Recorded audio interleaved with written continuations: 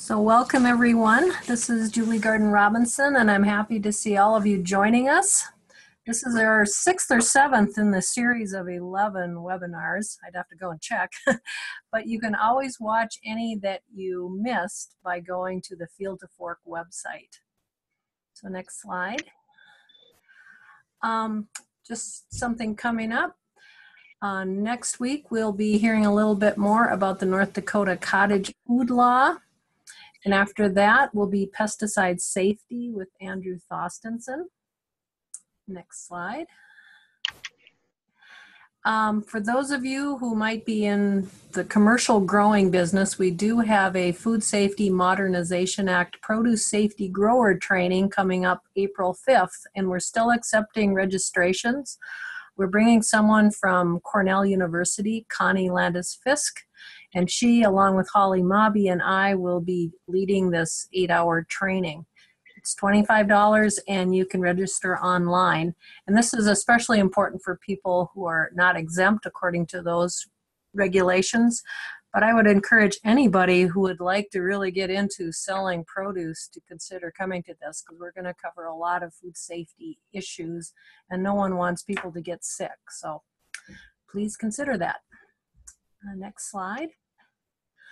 I think you've all figured out how to use your Zoom controls. Uh, if not, there's a chat box and we'll have all of you in listening mode throughout this seminar, but feel free to type in any questions you have and we'll all keep our eyes open so that we don't miss those. So please go ahead and interact. Uh, next slide. Um, for me, because this was all sponsored by a grant, I do ask that you complete the survey. It will come directly into your email box.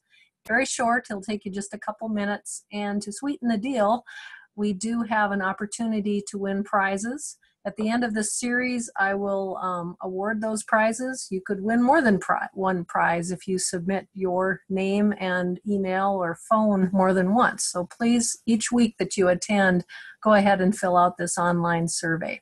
Um, the project was supported by the USDA and through a um, North Dakota Department of Agriculture grant.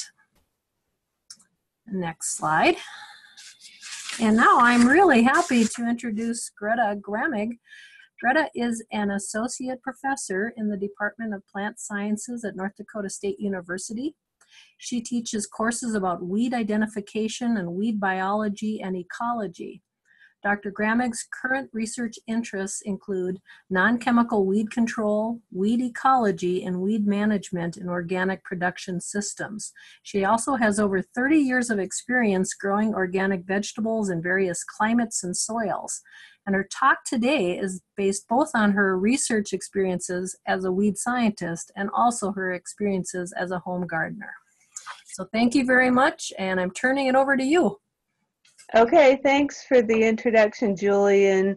um, just as a little bit of a help for me, if I'm missing questions, sometimes I might get absorbed in what I'm talking about. If if you see questions, you could always chime in and tell me I've got some questions if I'm missing them. Okay? Absolutely. All right, great. Well, thanks everyone for joining us today. And as Julie said, I'm going to talk about weed management and a little bit about soil fertility um, for growing vegetables in a home garden setting mostly uh, without chemicals so organic production. And a lot of these tips would probably also relate to commercial growers but the talk is really geared more toward home gardeners. So a little bit of background on me. I am as julie mentioned i'm a weed scientist I'm associate professor in the Department of Plant Sciences, and I'm also a gardener. And this is a picture of me sitting in one of my gardens when I was a grad student at UW Madison. So I've had about 30 plus years gardening in a lot of different climates and soil types with a lot of different pest problems. But the one thing that's always remained constant for sure is problems with weeds. And so the first thing I want to talk about is what causes weeds and what are they really? So weeds are really just plants and there's lots of different definitions of weeds. One that everyone likes to offer is a, a weed is a plant out of place, but who decides if it's out of place? Well, humans do. So one thing that causes weeds is human perspectives. But moreover, weeds are just species that have evolved to perform certain functions in our ecosystems. And one of those functions is that they provide rapid cover on disturbed soils and help to hold nutrients in those soils until some of the um, longer lived perennial plants have a chance to get started. Also, they can be caused by immigration, weeds coming in from other places. This relates more to noxious weeds. Something that's kind of interesting as a cause for noxious weeds is a phenomenon called enemy release. So, weeds from other places often aren't weeds in those places because they are eaten on by lots of different insect herbivores, other kinds of herbivores. They're attacked by diseases.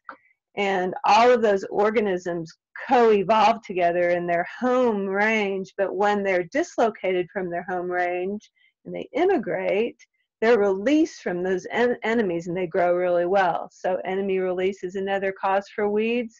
Um, low diversity ecosystems can be a cause sometimes.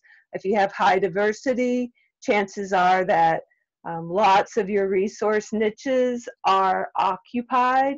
And then another final cause of weeds is coevolution, as I mentioned earlier, with respect to enemy release. So those are just some things to think about um, in terms of how scientists think about weeds.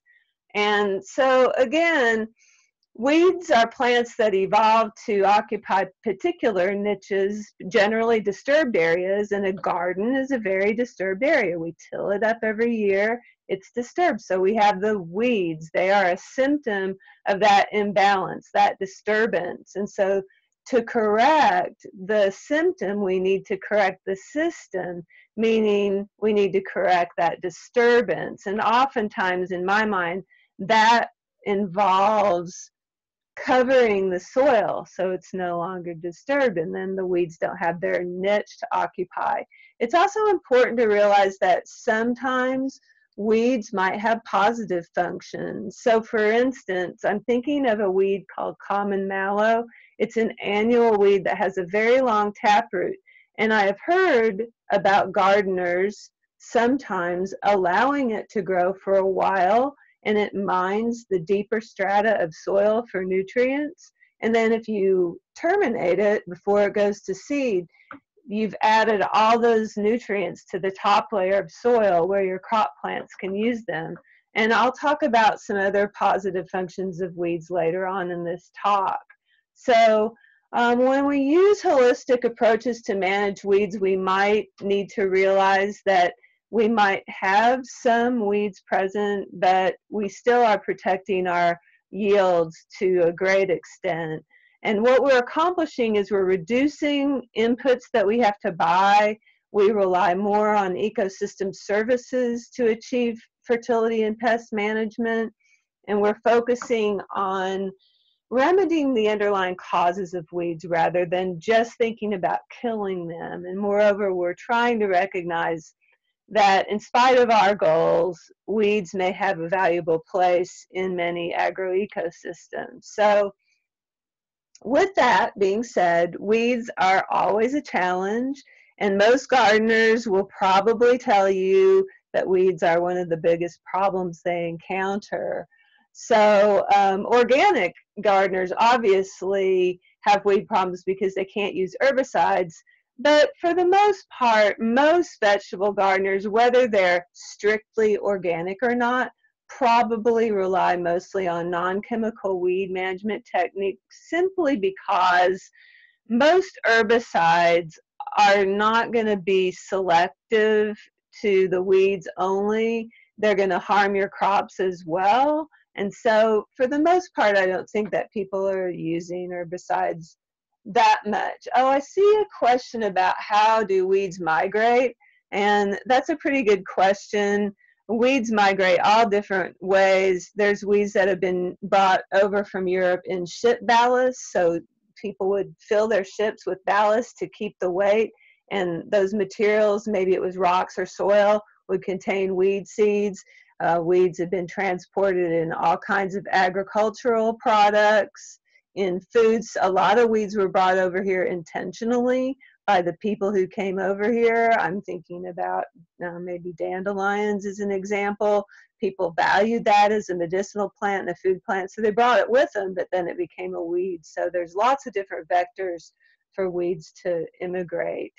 Okay, so we're always going to be facing these challenges from weeds, and I've got uh, some pictures coming up that relate to some experiences I had in the gardens, especially when I gardened in uh, Wisconsin, uh, Madison, Wisconsin. I was gardening at a community garden on the university campus, and I got to see lots of different things. And one of the things that I saw most often was first thing in the spring, people would get out there and they would till their soil black and they'd plant their garden and then they'd um, leave and go to the lake for the summer.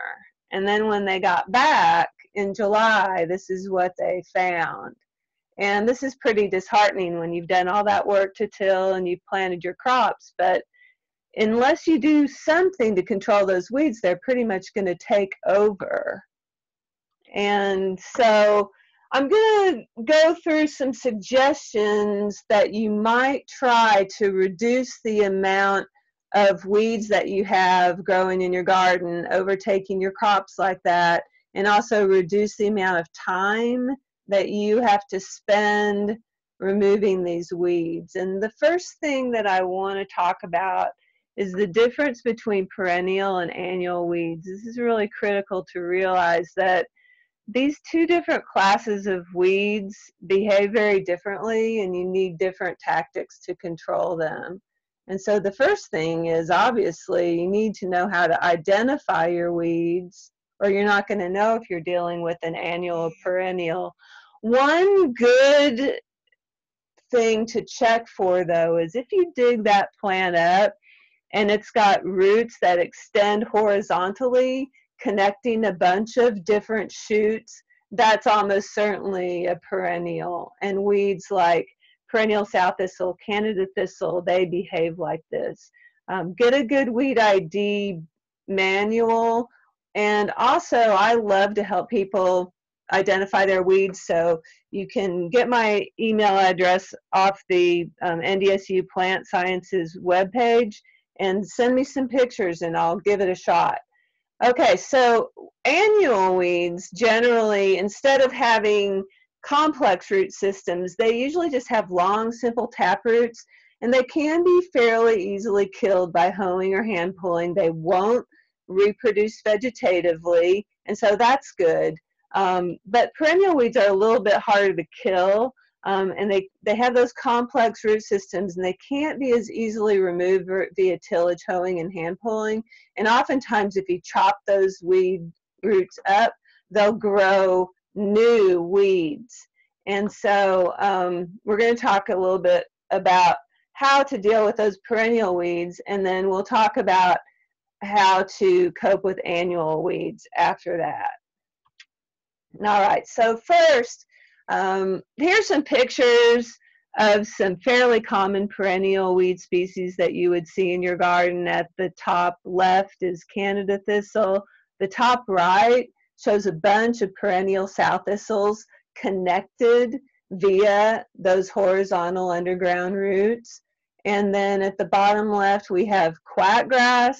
That's one that's uh, it's really hard to get rid of in gardens. It can be fairly easily dug up though, but the one that's the worst, I call this the cancer of the garden, is on the bottom right. And this is field bindweed.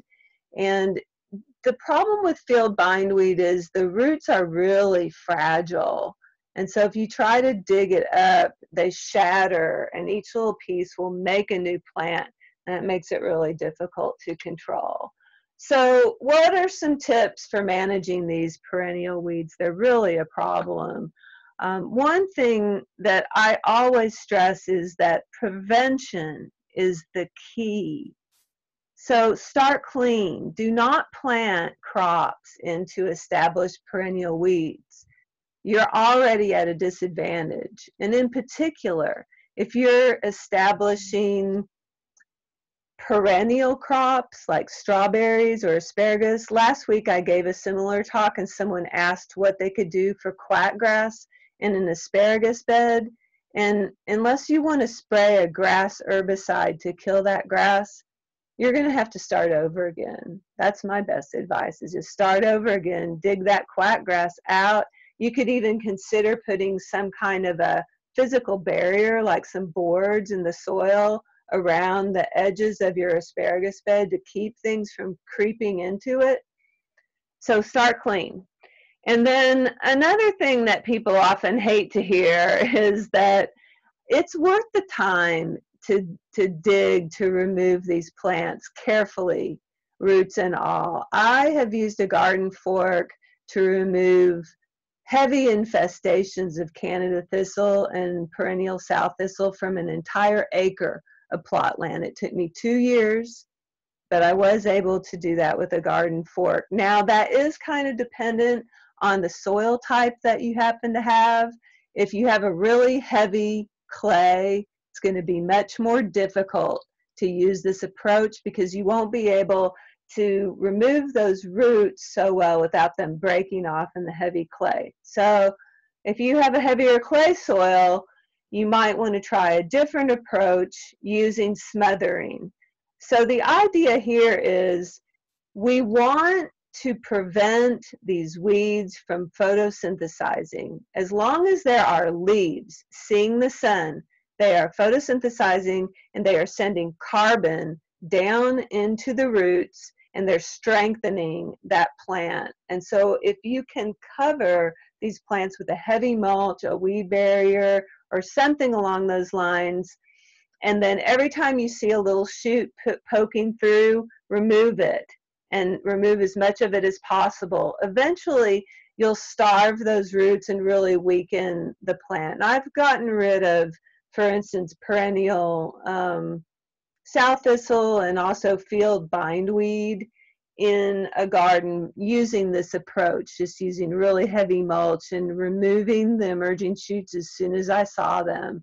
Another thing that you might consider for really bad and extensive weed patches is to cover the soil with either clear or black plastic and allow it to solarize over a summer season. So that does mean taking a patch out of production and covering it with soil, um, but it can be helpful. So this is a picture of my um, attempt to remove a bunch of perennial weeds from one of my research plots. That's a garden fork sitting next to that wheelbarrow. I think that's a really valuable tool to have to remove these perennial weeds and things like Canada thistle, quackgrass, perennial sow thistle are relatively easy to remove. There's some perennial weeds like dandelion that do not reproduce vegetatively, so it's not as critical to remove the whole root. Things like field bindweed, you're probably going to be better off using a smothering approach such as solarizing. So here's a picture of someone who's solarizing a pretty extensive looking patch. And there's some pros and cons to using either black or clear plastic. So with clear plastic, ironically, or maybe counterintuitively, the soil heats up more, so you might kill more of the roots, but it does allow light to transmit. So if you're not killing the plants very well, they're still able to so photosynthesize underneath that plastic, whereas the black plastic doesn't heat up the soil as much, but it does prevent any light from getting through. So it kind of depends on how how hot your summer is. I think if your summer is really hot, then you might go with the black plastic. If it's not very hot and you need to bump that heat up a little bit, use the clear, but realize that plants could still be photosynthesizing underneath that plastic. Another idea that's commonly used by organic producers is to set aside an area of fallow each year and grow a competitive cover crop. And sometimes you might even want to consider growing a perennial crop like alfalfa or clover, some kind of per perennial legume, maybe mixed with a grass. And what this does is it improves your soil. And then if you can mow it a few times during the season, you are depleting those perennial weeds of the ability to send carbon down into the roots. You're weakening, the, weakening them progressively each time you mow them. And so out in my research, I've got an area that I planted to alfalfa a couple years ago, and it used to be just completely full of perennial sow thistle and Canada thistle, and now we don't see any of those plants because the mowing and the competition from the alfalfa has really helped to knock back the perennial weed species. So that's a little bit about perennial weeds, but annual weeds are a completely different story. I have been able to largely get rid of some of these perennial weeds on my plots mm-hmm. be, via removing plants as often as possible. But with annuals, that is never going to work because the soil is loaded with seeds, and these seeds live forever in the soil. There are seeds, certain species like common mallow I mentioned earlier, that has a very hard, impenetrable, impenetrable seed coat could live for 30 years in the soil. And so basically you're going to have annual weeds and what you are going to have to do is either remove them via tillage, hoeing, mowing, or hand pulling or suppress them. And we all know that removing weeds by hand or mowing or tilling is a lot of work. So my best advice is to try to use mulching and cover crops and also think about how to make your crops more competitive to help suppress these annual weeds. So what are we talking about with annual weeds? Here's some examples. At the top left, common lamb's quarters. Um, that's a really common weed that you'll find in a lot of gardens. It's a summer annual. At the top right is field pennycress. This is a winter annual that emerges in the fall and it's one of the first things that you might see emerging in the spring, and it goes to seed fairly early. So you might be removing this before you even plant. On the bottom left is common purslane, and this is something that is very typically seen in gardens. It can form sort of a dense mat on the top of the soil surface, and then finally on the bottom right is yellow foxtail, and that's a grassweed species that can often be a problem as well. So those are just a few examples of annual weeds that you might be contending with in your garden. So what can you do to suppress these weeds? Try a cover crop.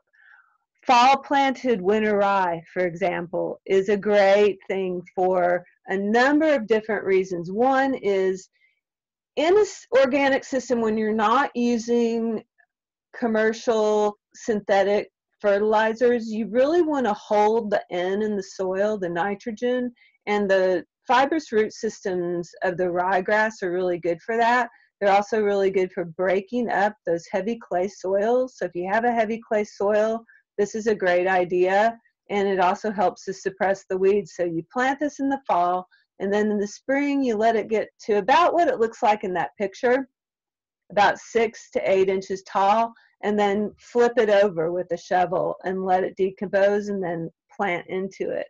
Another idea is to grow legumes like sweet clover or other clovers. They're great for adding nitrogen. Cover crops in the mustard family, aside from outcompeting weeds, can also help mitigate soil pests. These plants, when they grow in the soil, they exude compounds called glucosinolates that are toxic to a lot of pests that live in the soil. Annual buckwheat is another nice cover crop. It suppresses weeds, but it also helps to make phosphorus more available in the soil. I talked earlier about weeds potentially having positive uses, and this is one of them that I've thought about a lot. Could we use weeds as a cover crop or maybe even a mulch? And so I had a garden in Wisconsin once where we would it was growing on the edge of a cornfield and there was a dense stand of giant ragweed. And we would let the giant ragweed get about two or three feet tall before it went to seed well before it went to seed. And we would swath it and just plant our garden mulch the garden heavily with the ragweed walk away. We would do this on Memorial Day weekend, and then we literally would come back on Labor Day and harvest. We never did a thing. We never pulled one weed. It worked great, and it was free. And so weeds can be a really nice mulch. And another thing that I've thought about is maybe they could be used as a cover crop too out at this research site. This is my research site out near Absaraka, North Dakota and there's a really heavy field pennycress population. As I explained, that's a winter annual. It will emerge in the fall, and then in the spring, it will look like this. So to me, that looks like a pretty good cover crop. And what I did is I would just pull it and lay it on top of the soil before it went to seed, and it and it helped to suppress the weeds. Uh, some more talk about mulches. So mulches are just a physical barrier against weed emergence again, and I think that's really important. They're covering the soil so that the soil isn't disturbed anymore, and then those weeds are not able to find their niche. And so there's a couple of different options. You can use plastic mulches.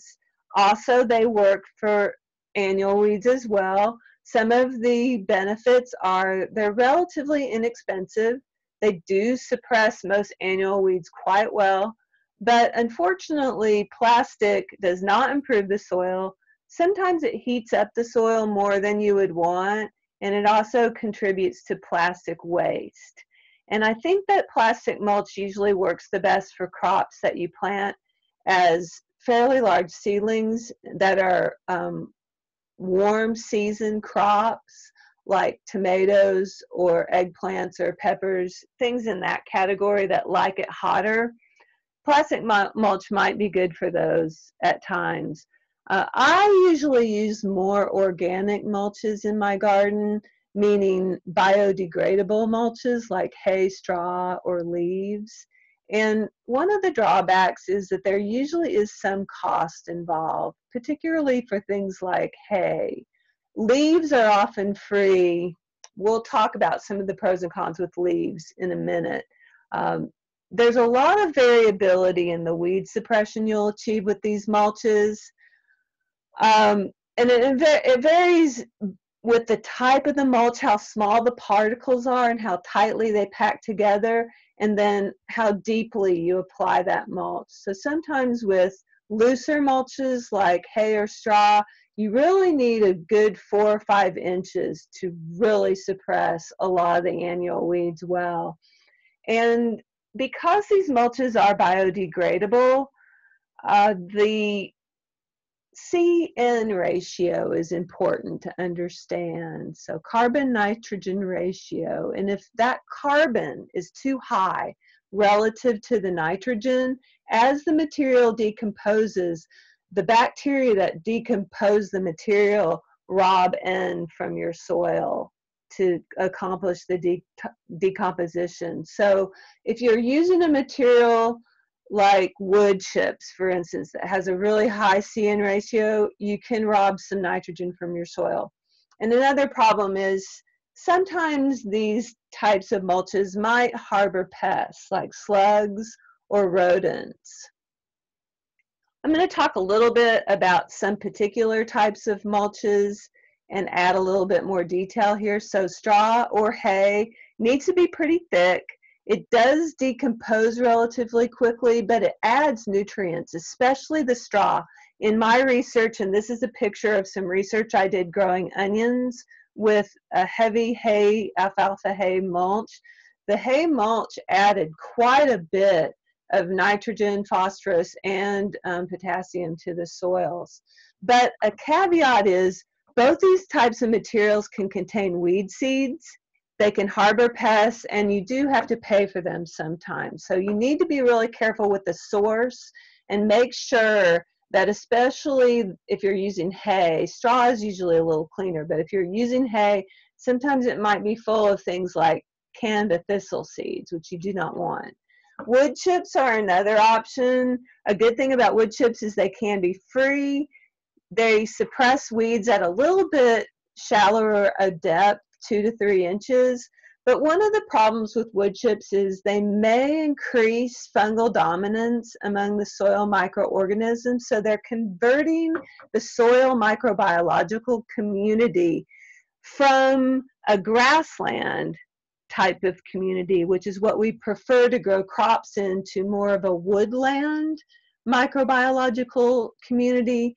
And that is not beneficial for most crop plants. Also, wood chips may acidify the soil, and again, they have a pretty high carbon nitrogen ratio, so they can rob N from the soil. And finally, some tree species, especially black walnut, contain toxic compounds that you don't want in your soil. What about tree leaves? This is something I've used a lot because they're free and they work really well. They suppress annual weeds. You might need a layer about two or three inches deep.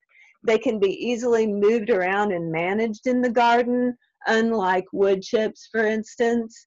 Uh, but they do form thick mats that can hold in too much moisture, may, be causing a mold problem at times. You can shred leaves to alleviate this problem. Another idea would be to compost them for a little while before applying them.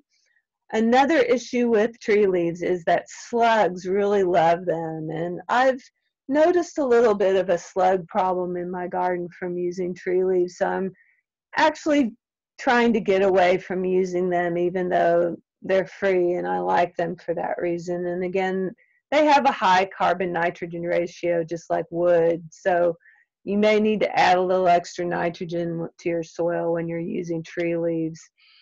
Newspaper and cardboard form effective barriers to weed emergence. One problem with them is that they need to be anchored down. So uh, normally these would be good to use in conjunction with some other type of mulching material. So you might put down a few layers of newspaper or a layer of cardboard and then pile some compost or some straw on top of that.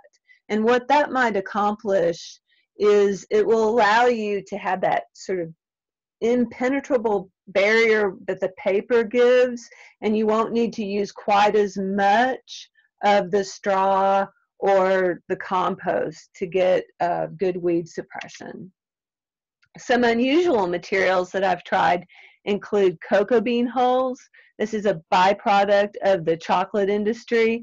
They, they are a little more expensive, but they're really beautiful. They smell great and you don't need to apply them so thickly. About an inch deep is all you really need to suppress most annual weeds. They do tend to get moldy sometimes, especially in damper climates. And then with the hemp hurd, it also forms a really nice impenetrable barrier against weed emergence because the particles are really fine and they tend to knit together. The fibers knit together in an interesting way to make a cohesive mat. And you don't need to apply them very deeply. Now, this material isn't commonly available yet, but it may be someday as the laws about hemp production are changing in our country. And so that's why I did some research using this material but one of the things that drawback with it is it does have a high carbon nitrogen ratio. And I did notice some nitrogen problems in the soil when we were using this. So what I'm going to try next with this is I'm going to mix it with composted manure to see if that will be a better combination. Another completely different idea, and this has to do with establishing a competitive crop canopy. So the sooner you have a lot of crop foliage, the better you can outcompete the weeds. You're giving your crop plants a head start on the weeds if you plant from starts instead of seeds. So a lot of times, even things that I can grow direct seeded, like kale, is I really like kale and I grow a lot of it. And a lot of times I plant it ahead of time and I start it from starts, not seeds. And that way I have a head start on the weeds. And you can use a little, this is a little tiny cold frame that I built and put outside. And it really helps with producing your own seedlings more economically than buying them from a greenhouse. And then another idea is a technique that organic farmers use. They delay their planting as long as possible and they allow the weeds to emerge first and remove them and then plant. And so that's another tactic that you could combine with using starts. So instead of direct seeding earlier, just plant your seeds in a flat, control the weeds in your garden, and then stick the starts in later after you've gotten rid of some of those weeds. A couple other ideas are if you really have a terrible weed problem and you want to just bypass the problems that are living in the soil, and this could also work for soil pests. So for instance, I have root knot nematodes in my garden and I can't grow carrots anymore. So I've considered using these two techniques to maybe be a way to grow carrots. But you have to have a real reason for it because it's a lot of trouble and you have to assemble all these materials. But I'll go through it just real briefly. Lasagna gardening is a no-till gardening approach. And I'm going to talk about the benefits of no-till in a minute. But basically, you're just laying down a layer of cardboard on your soil and then a brown layer of leaves, straw, that kind of thing, a green layer of grass clippings, vegetable clippings, and then another brown layer, another green layer, and maybe some compost on top of that, and you plant into it. And this is something that you can start even on established grass in a yard. You could just layer this stuff up, plant into it, and it'll all decompose and eventually turn into a garden. Another approach, which I have not tried, is straw bale gardening. I think you'd have to have a real motivation for trying this. I've heard some mixed reviews on it. The idea very quickly is you get a straw bale, you fertilize it and water it a little bit to get it to decompose slightly, and then you pile some compost on top and plant into that. And the idea is that you're just bypassing the weeds altogether. So, for instance, if you had a terrible patch of bindweed, you could put these straw bales on top and plant this way for a while and it would in the two or three years you were using the straw bales it might completely smother out that bindweed and then you could go back to gardening normally. Some of the problems with this method are that number one, those bales dry dry out very quickly, so you're using a lot of water, and there's a lot of watering involved. Another problem is that it requires a fair amount of fertilizer because you're growing your plants in straw, and straw doesn't have any fertility, unlike real soil, so you have to add your nutrients. And I think unless you have a real reason for wanting to try this, or if you're just curious about it, then it might be worth a shot too. Um, that it, it, there are some some definite drawbacks to the method. Um, so with that, this kind of leads into a, a, a secondary topic I wanted to cover, which is soil fertility in home gardens. So just to refresh your memory, plants need a lot of different nutrients. They need macronutrients, nitrogen, phosphorus, and potassium. Secondary nutrients that are also very important are calcium, sulfur, and magnesium. Also, there are a number of micronutrients. They're called micronutrients because they're needed in much smaller quantities, but they still are critical for plant growth, and these include iron, copper, manganese, boron, chlorine, zinc, molybdenum, and nickel. So the only way you're going to know if you need these nutrients in your soil is to get a soil test. And here I've published a link that you can go to to find out how to send your soil samples to the NDSU soil testing lab and they will do some tests for, for you and tell you what nutrients you need to add. And as far as organic gardening, so in organic gardening, if you're trying to garden organically, you don't use synthetic sources of nutrients. Some organic sources of nutrients include compost, manure, fish emulsion, kelp meal, rock dust. Uh, rock dust are also called azomite. Azomite is mined from a volcanic ash deposit and it includes a lot of different micronutrients. Epsom salt can be added to soil to provide magnesium and sulfur. There are many different commercial organic fertilizers available. KMS is an example. KMS provides potassium, magnesium, and sulfur. Gypsum is a mined product. It contains calcium and sulfur. Dolomite is another mined product, calcium and magnesium. And there are many others that you could research online. And below, at the bottom of the slide, is a link to a chart that shows a very comprehensive list of a lot of different fertilizer sources for organic gardens. I mentioned compost, and this is something that you can do at home. And I have a compost pile in my backyard. I can't imagine living life without them. It is so nice to not throw all of that wet food waste into the garbage. It really cuts down on the garbage. And how you can do this, the one of the best methods, there's all kinds of different ideas about this. One of the best approaches that I've found and the cheapest is to go get four pallets wire them together at the corners, and then start at the bottom with a layer of straw or twigs. And this helps to increase the airflow because composting is an aerobic process, not anaerobic. The microbes that decompose the material need oxygen. And then you start layering, and you layer about one third green materials, meaning grass clippings, yard waste, flower clippings, food waste, and then two thirds brown materials, meaning straw or leaves and things of that nature. Um, peat moss would be another one potentially. Now, there's a long list, and I researched this pretty thoroughly to find out what you do not want to put in your compost pile. And so you can find a bunch of different lists with a lot of conflicting ideas, but these were some of the central themes that were always mentioned. So one is don't use meat, bones. And the reason for this is these decompose, but people think that they attract pests.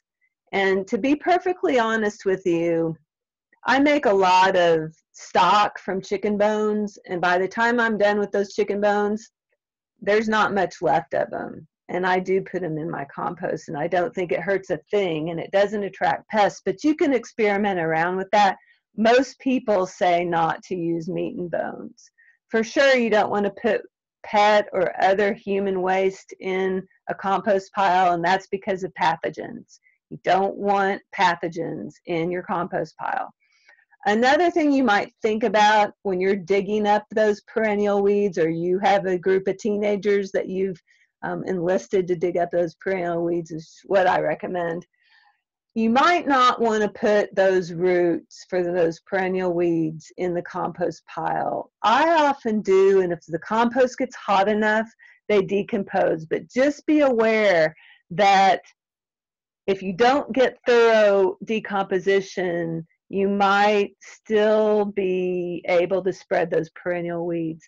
Disease plants is another no no. Say you have a squash patch that's all full of powdery mildew, put it in the garbage. You don't want pathogens in plant pathogens in your compost pile either.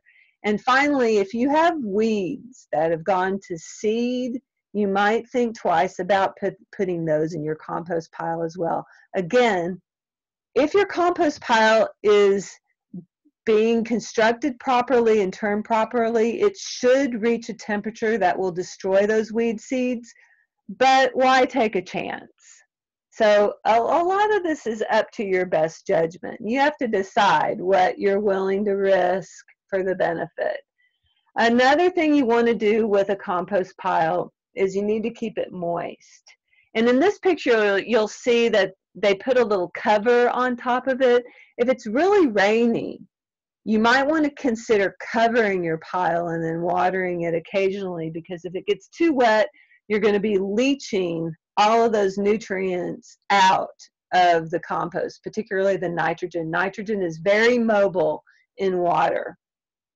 And then finally, as I mentioned, composting is an aerobic process. It requires oxygen. So if you turn that pile with a pitchfork occasionally, it's going to decompose faster. But I am lazy and I have to work really hard in the summer because I'm an ag research scientist. So I don't bother with this and it works just fine. Every every spring when the compost pile first thaws out, I pull everything off the top that hasn't decomposed yet and at the bottom there is this stuff that they call black gold. And I dig that compost out, screen it, and put it in my garden. It's one of the best things you can add to your soil. I'm running out of time a little bit, I think. I might go through this really fast. There's uh, fungi that live in your soil that plants benefit from. And to encourage these fungi, you need to reduce tillage and synthetic fertilizers because these fungi are harmed by tillage. And that leads into my final point, which is try, please, to stop tilling your soil. Be nice to your soil. Nothing is more detrimental to soil health than tillage. It kills all the megafauna in the soil it kills these fungi that are so important for plant health. It causes loss of organic matter. It destroys the soil structure. And so I know people like to get out there with their tillers and they like to till everything and they like to see that black soil, but we need to change our paradigm. Black soil should be ugly soil. That means disturbed soil again where weeds are just looking for an opportunity to get in. So keep your soil covered. Dig only as you need to to plant your crops and pull your weeds. Otherwise, try to retrain your eye. Black soil isn't good. Covered soil is good. Cover it with crops, cover it with cover crops, cover it with mulch, cover it with compost, cover it with something, and you'll have healthier soil and you'll have fewer weeds.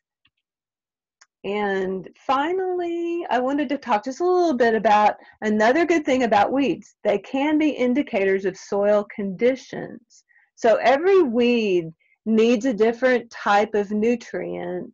And um, weeds, for instance, can indicate soil deficiencies so just for instance, field bindweed can indicate really compacted or crusted soil structure. So if you have a bad field bindweed problem, you should try to get more organic matter in your soil. Quit tilling and that will help the bindweed go away naturally.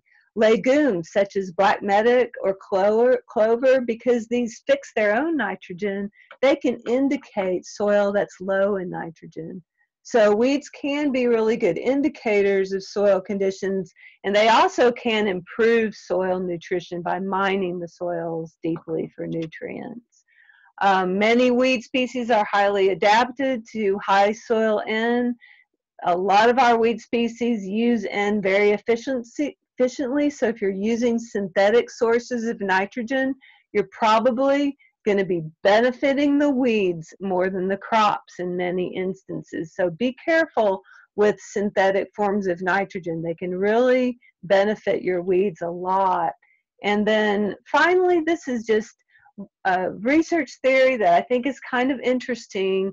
Some people have hypothesized that in organic systems, weeds and crops can coexist more. So the weeds cause less of a yield loss because they're using all these different forms of nitrogen that are available when we use things like compost and manure and cover crops for our nitrogen instead of synthetic nitrogen. And so just to recap really quickly, perennial weeds, remove them completely or starve the roots. Annual weeds, suppress them, use cover crops, mulches. They do a great job of suppressing weeds and they can add valuable soil nutrients. Do a soil test so you know what nutrients you need to add. Try out home, home composting. It would be a great source for free nutrients that you can add to your soil. And finally, please stop tilling so much. Try some of the no-till methods that I have presented here. And with that, I have some time for questions and comments.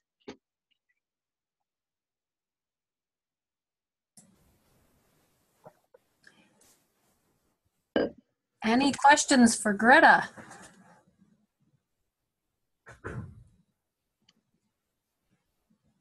You can type them in your search box or you can actually unmute yourself and ask them.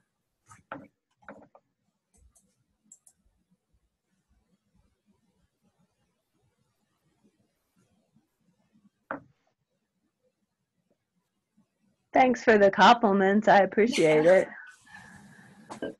We've got, I think we have 10 minutes, so please, if you have a question, I, I would be happy to try to answer it.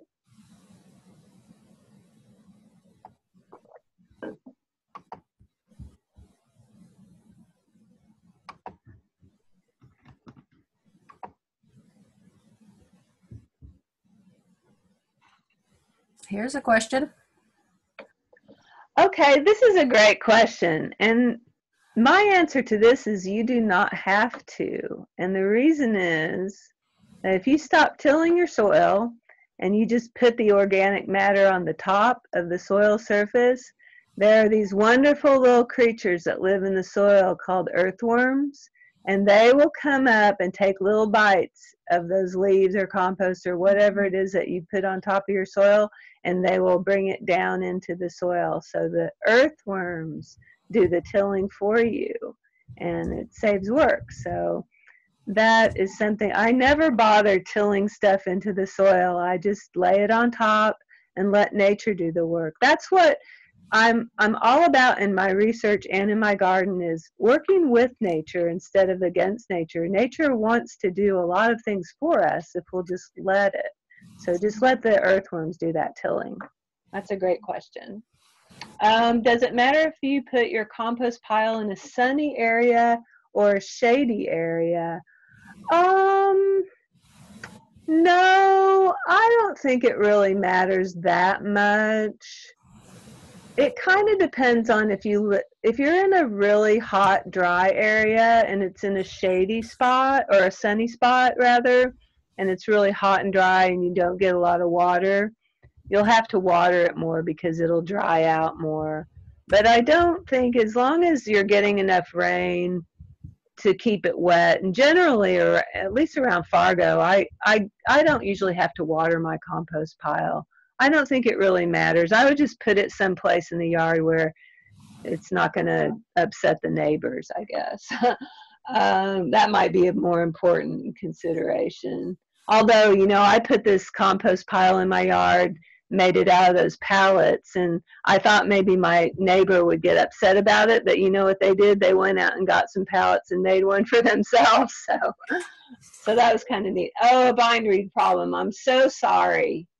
Um, this person said they covered their soil with cardboard and then wood chips, and then they haven't had the bindweed come back.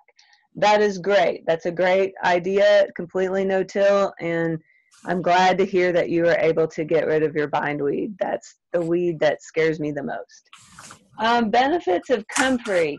Oh, I, you know, I was just reading about this that comfrey makes an excellent mulch and it is very high in nutrients. And I grow comfrey, excuse me, I'm losing my voice. I grow comfrey in my yard and I'm going to try that this year. And one of the problems with comfrey is it's a pretty aggressive spreader and you have to be careful where you plant that. But that will make a really great mulch. I don't know about a soil loosener once you plant that, you will never get rid of it. The roots go way deep down in the soil. The only way I've ever gotten rid of it is to break down and use herbicides. So I'd be careful about where you plant it. Plant it someplace where you want to keep it, and then cut the shoots and use them for mulch. And by the way, it's also a very valuable medicinal plant. You can cut the leaves, dry them, put them in olive oil, and it makes this great healing oil. So that's a really interesting question. Um, go back. There's the recap. Um, with a summary, how can you plant tiny carrot seeds? Oh, you have to, so if you're keeping your soil covered, a lot of times in the spring, what you want to do, this is a great question, you want to pull that mulch back away from the row that you're going to plant in and just pile it up along the sides and let the sun warm the soil up and then just scratch a little line, plant into it, let the carrots emerge and let them grow until they're a couple inches tall and then replace the mulch because otherwise they won't be able to grow in that mulch. Um, I'm glad that people don't feel guilty about not tilling their perennial garden. I'm all for no-till. Mulching raised beds. Um, it you know, it might not be as necessary, but yes, I think that mulching is still a valuable technique for raised beds, and I have several raised beds, and I do use mulch uh, depending on the crop. Uh, if it's a crop that, say, tomatoes that are planted, you plant them pretty big and they get going pretty fast, you might not need it. But I do use mulch in raised beds. Cardboard mulch, would that work with quackgrass? Uh, maybe. Uh, if it works for bindweed, it's probably going to work for quack. You just have to be patient. So put some cardboard and then something heavy on top of it. A previous comment said they used wood chips on top of it. Another idea might be to use some compost or something like that. But I think you'd need a fairly thick layer and with compost, I mean, with quackgrass rather, this is going to sound kind of funny, but I really like digging up quackgrass. The roots are very, unlike bindweed, they're very tough and you can really yank on them and just pull them right out of the soil. Uh, if you have a really large area, that's not going to be feasible, but that's one that oftentimes I'll just dig up by hand. Um, prostrate knotweed from a lawn. Oh boy. If anyone knows the answer to this question, they can tell me. I'm not as big of an expert on lawns. I definitely have prostrate knotweed around the edges of my lawn. And I think the best thing is to work on the condition of your turf. Um, fertilize it well in the fall and in the spring and don't cut it so high. Don't cut the grass so high. If you have a competitive lawn that is well fertilized, then a lot of those weeds won't be able to outcompete the grass. And it's really just an indication of a lot of times that it happens along the edges of the turf grass where it's more compacted, or maybe it's getting some salt runoff from the sidewalks and so you need to work on the condition of your soil and your grass. And you might be able to get rid of some of that knotweed. Um, Back to Eden Gardening, great book. And I think that's the end of all the questions that I see so far. So thanks everyone for all those great comments and questions. And I, I appreciate it. And this is Julie again. I think I'll bring us to a close, and I want to thank everyone for attending, and special thanks to Dr. Greta Gramig for delivering a great presentation. I think we all learned a lot, so thank you very much. You are welcome.